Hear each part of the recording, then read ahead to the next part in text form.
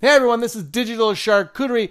Give us a like button. And if you're new to the channel, hit subscribe and ding that bell to stay up to date with all of our latest videos. Let's talk Batman, Penguin, and Hugo Strange. In Matt Reeves' The Batman, we were introduced to a gritty and grounded version of Gotham City. Robert Pattinson's Bruce Wayne, still in the early stages of his vigilante journey, confronts not only crime, but also the deep rooted corruption festering within the city of Gotham. One character who stood out as a key player was Oz Cobb, the Penguin, played masterfully with some awesome makeup by Colin Farrell. The Penguin, though still a mid tier crime lord at this point, is positioned to rise in the criminal underworld following the downfall of Carmine Falcone, and we're witnessing that on the Penguin TV show. And because of that, the Batman 2 won't follow Oz Cobb's rise to power. What if the Penguin TV series leads directly indirectly into one of Batman's most psychological and manipulative foes? What if it's leading us towards Hugo Strange. Let's talk about how the Penguin's evolution in Gotham's criminal landscape could organically lead to the arrival of Hugo Strange and why this pairing could set up a thrilling and cerebral conflict for Bruce Wayne. At the end of the Batman, we see Gotham in chaos. Falcone is dead, and the Penguin, who's been biding his time in the shadows, is poised to take advantage of the power vacuum. As the Penguin will be gaining influence in the city, it's likely that his ambitions will lead to chaos, not just in the streets but within Gotham's institutions.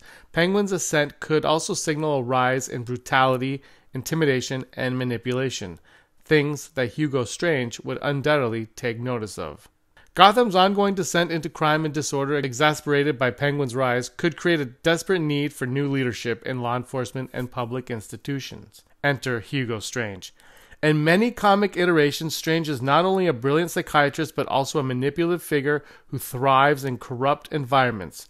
Gotham's leaders may turn to Hugo Strange to help solve the city's psychological problems, seeing him as an intellectual savior who can understand and outwit the criminal mind. Strange's expertise in human behavior could make him a consultant for Gotham's law enforcement, or even give him a role in Arkham Asylum, which would be a fitting setting given the city's heightened instability after the flood and Riddler's attack. Hugo Strange's psychological approach could be presented as more refined intellectual method to clean up Gotham, in contrast to the brute force and corruption of Penguin. In various adaptations, Hugo Strange becomes obsessed with uncovering Batman's identity and understanding the psychology of the vigilante. Penguin can serve as a link between them. As Penguin expands his criminal empire, it's inevitable that his actions will catch the attention of Batman. This dynamic would bring Batman and Penguin into a frequent conflict, and this tension could draw Hugo Strange's attention. Imagine Hugo Strange watching from the shadows, fascinated by the ongoing battle between Batman and Gotham crime bosses. Strange, a man obsessed with psychology of Gotham's criminals, would see Penguin's rise as a symptom of a larger problem. Batman. Penguin could even seek Strange's help to manipulate the system or outwit Batman, which would provide Strange an opportunity to observe Batman up close. Hugo Strange is known for his ability to manipulate and play mind games, and Penguin, despite his intelligence and ambition, could fall victim to Strange's psychological tactics.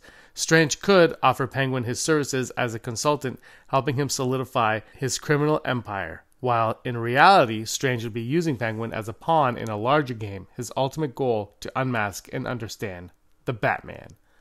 Through Penguin, Strange could gain access to valuable information in Gotham's underworld and Batman's activities, further fueling his obsession with the Dark Knight.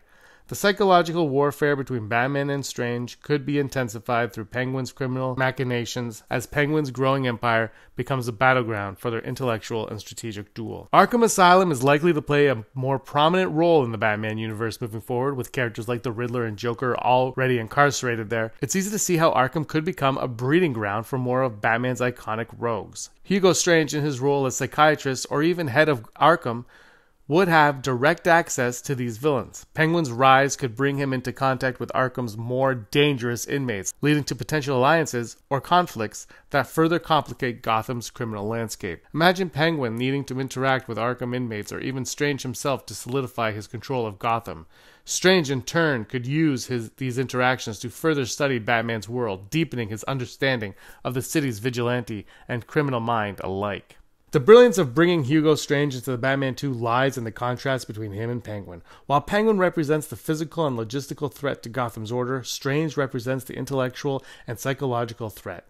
Penguin is driven by power, greed, and survival in Gotham's criminal underworld, whereas Strange is driven by obsession, control, and a deep fascination with the human psyche, especially the Batman's. By placing these two villains in parallel, we can see how Penguin's rise to power could inadvertently lead to the arrival of a far more dangerous adversary. Strange's psychological warfare would be the perfect counterbalance to Penguin's low street level tactics, allowing for a multifaceted threat to Batman. In the Batman 2, the Penguin's ascension to criminal kingpin could serve as a perfect narrative gateway to introduce Hugo Strange. Penguin's rise could destabilize Gotham, creating a need for someone like Strange to step in with the promise of order through psychology. Penguin's actions would draw Batman deeper into the fray, while Strange would watch, study, and plan. Ultimately, Penguin could become the catalyst for Strange's obsession with Batman, setting up a thrilling, cerebral confrontation that would push Bruce Wayne to his mental and emotional limits.